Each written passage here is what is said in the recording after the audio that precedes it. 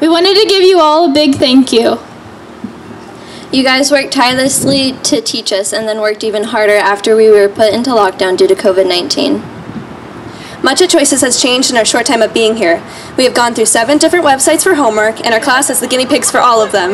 We were able to welcome Mr. Odo as our new principal. We gained some amazing new teachers like Mrs. Wan, Mrs. Locaria, Mr. Cermak, and Mrs. Odo. We have been able to create the talent show and see so many things implemented in the school and watch it grow as we grew with it.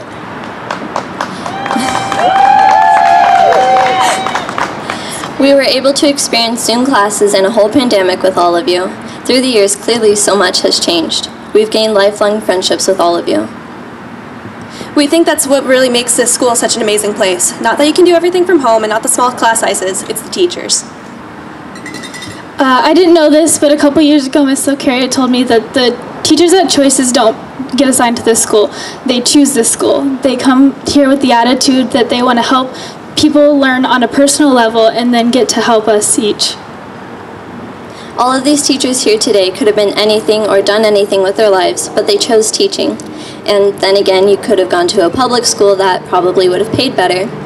But you chose choices. So, choices teachers, thank you immensely because of all the things you could have chosen, you chose to help us and get us through an extremely hard time in our lives.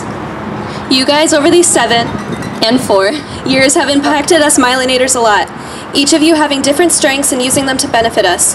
Mr. Brown never failed to make us smile, make us laugh, so when we had a bad day, we would just go and sit in his room and listen to his wise words.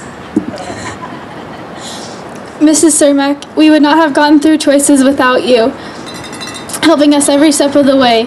You too, Miss Smith. We thank you both for helping us students handle life in schooling. Miss Strow, four girls. I don't know where Miss Strow is. Miss Strow. Four girls came to you with the impossible idea to start a talent show. And because you trusted in us and believed in us, we were able to h- held six talent shows, and unfortunately not this year, but we got to do it. So thank you for believing in us when literally no one else did. Miss Summers and Miss Hannon, thank you for setting a good example of what an amazing friendship should look like and inspiring us to be quirky and to never give up when we're down. We now know that we can always recover from anything.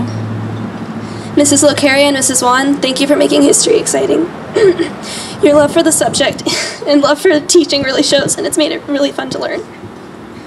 And Miss Swan, you probably pushed us the hardest and gave us the most homework of all. But we appreciate the challenge you gave us. You turned us into pro procrastinators, but also very hard workers. Thank you for always pushing us. Miss Santos, we hated math, but now it's our favorite subject. And thank you for always allowing us to come and talk about life with you. It was highly appreciated. And Mr. Cermak probably taught us the most important lesson we've learned here at Choices. Don't let school get in the way of your education. There are so many more teachers that we have been unable to be taught by, but have always welcomed us with smiling faces and always checked to see how we're doing. So, Choices teachers, thank you so much for making this school different, making our lives better, and helping us get through this period of our lives where our brains are still myelinating or still growing and coming together. Another important lesson learned from Mr. Cermak. So, Mr. Cermak, us Myelinators, We are filled with talent. We are capable of accomplishing anything when we try hard. We have become the best version of us that we can be. We are feeling super fantastic and awesome and getting better as we graduate today. Thank you and all the choices, staff, and teachers for helping us feel this way.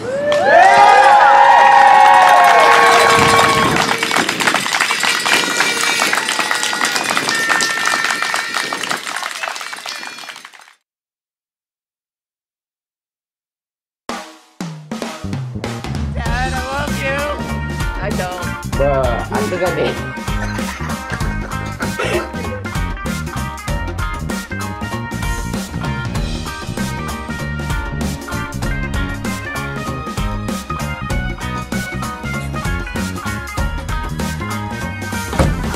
Where's the brush?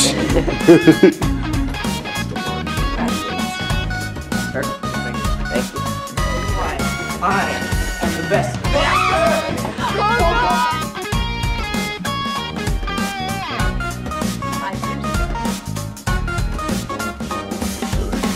I